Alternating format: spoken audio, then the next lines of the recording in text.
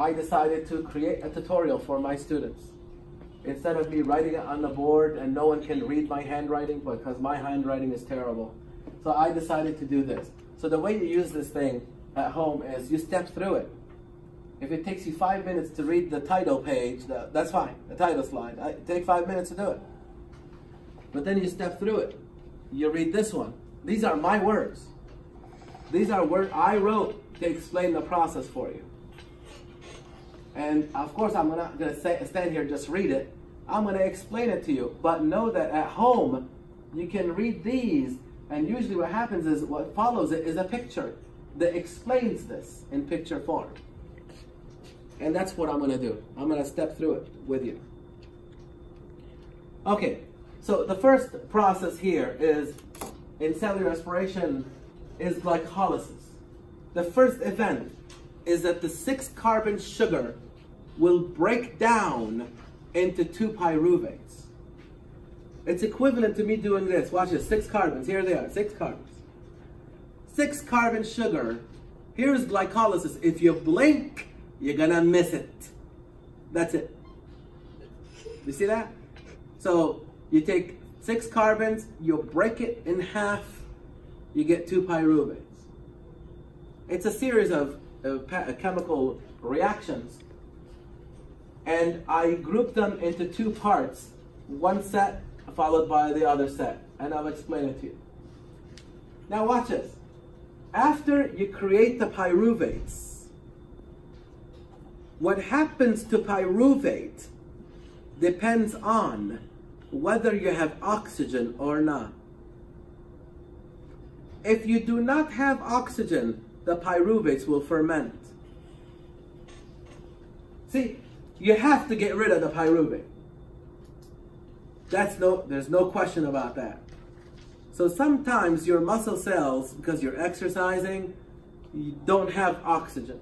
They, they are deficient because you're exercising for a long time and they don't have access to oxygen. So they're going to take the pyruvate and they're going to ferment it.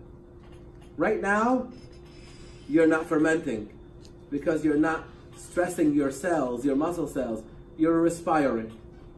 You're taking your pyruvate and sending them to the mitochondria for cellular respiration. So those are the two options. Without oxygen, the pyruvate products of glycolysis ferment. With oxygen, the pyruvate products of glycolysis go through pyruvate oxidation, citric acid cycle, oxidative phosphorylation. They, they, do, they do the whole movie now. See, this is like a short movie. Glycolysis, ferment, movie is over. This one is a longer movie. Glycolysis, pyruvate oxidation, citric acid cycle, oxidative phosphorylation. Then the movie is over. But the, the, the difference is this, without oxygen, with oxygen. So we're going to talk about glycolysis first, which is in common with both of them. Glycolysis occurs regardless of oxygen being there or not. That doesn't matter. Whether you have oxygen or no oxygen, glycolysis does not care. Oxygen comes in play at the point of pyruvate. You gotta listen to this. At the point of pyruvate, a decision is made. Do I ferment or do I do the rest of this? You can tell that the rest of this is very complicated. Do you agree? So your cell decides this.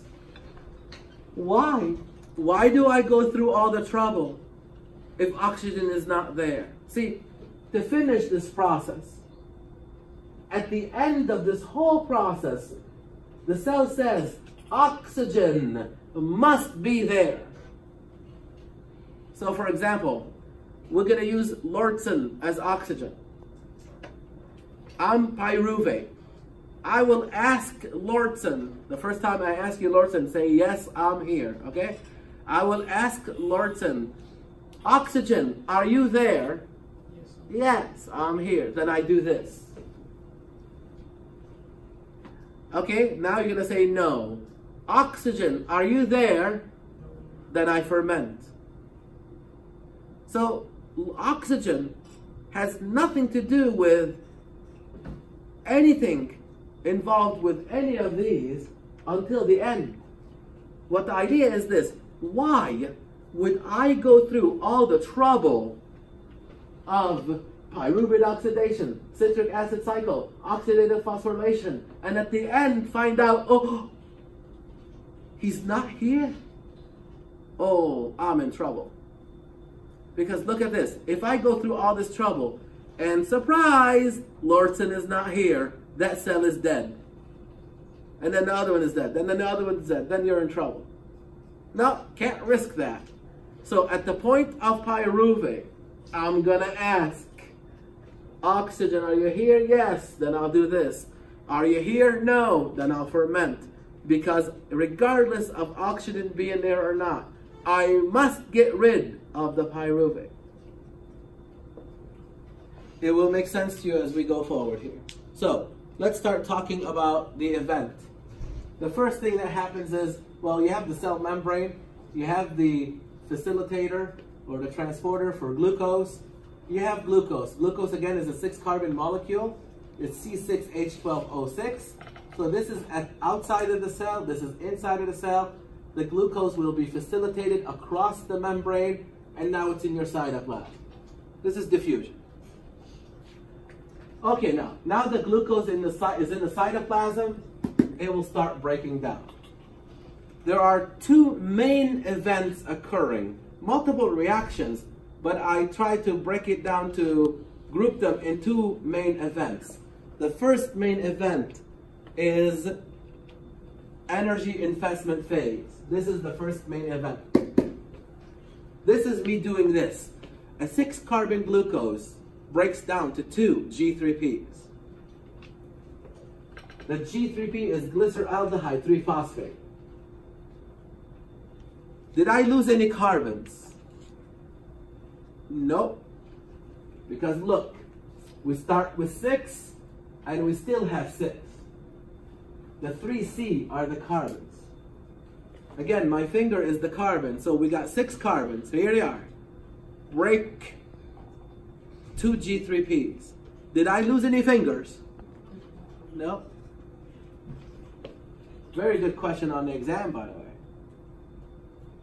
Now, to get this done, this is called the energy investment phase. That means you must use some energy to get this process started.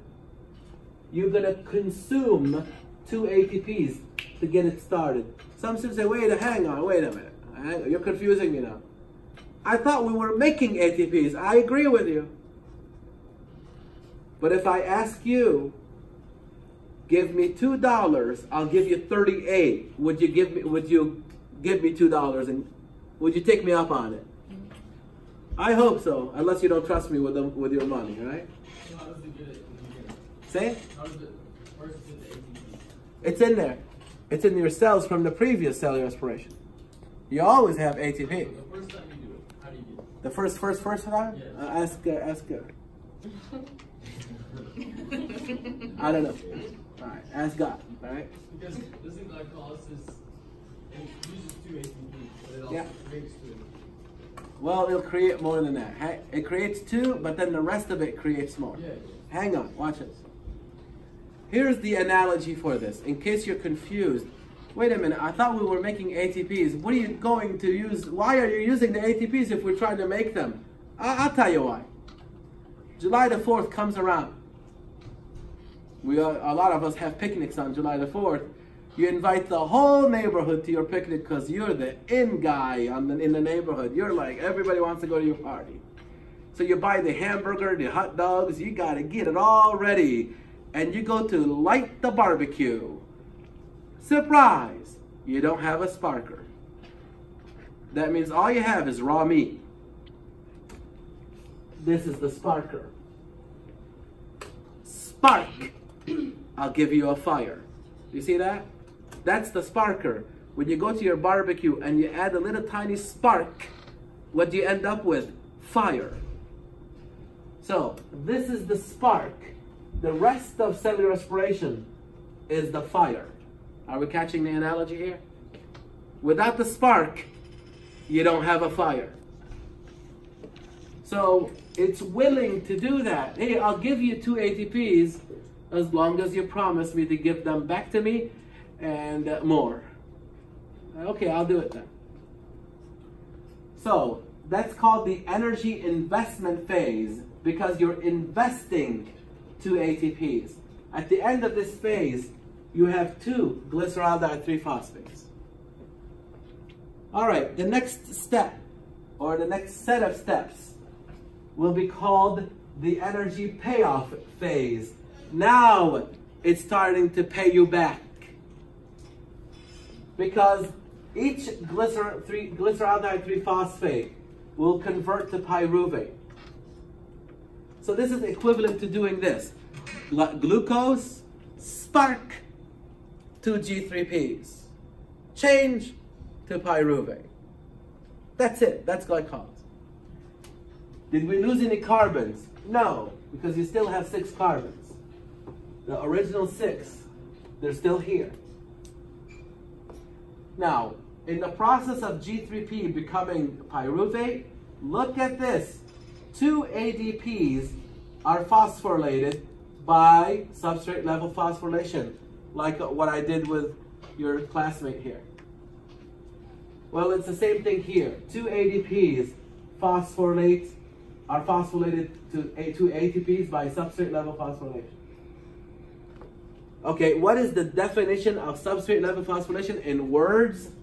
Easy. The simple transfer of a phosphate from a substrate to ADP. Because that's what I showed you when I demoed it.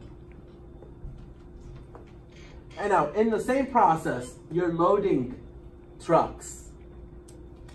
Look at that, an empty U-Haul, full U-Haul. Now, no furniture here, electrons and hydrogen, all right? Electrons and hydrogen are being loaded here. And look at that, whatever happens here, also happens here. So at the end of glycolysis, you have to do a tally. What do we have? At the end of glycolysis, we have two pyruvates. We have two NADHs, loaded trucks. We have four ATPs. Oh, watch out for this one. Yes, you made four, but you used two. Do you remember that? So the net gain is what? Is two. So even though you made four, you have to take into account that you used two. So if I give you four dollars and you use two of them, you'd be crazy walking around thinking that you still have four dollars. You only have two now.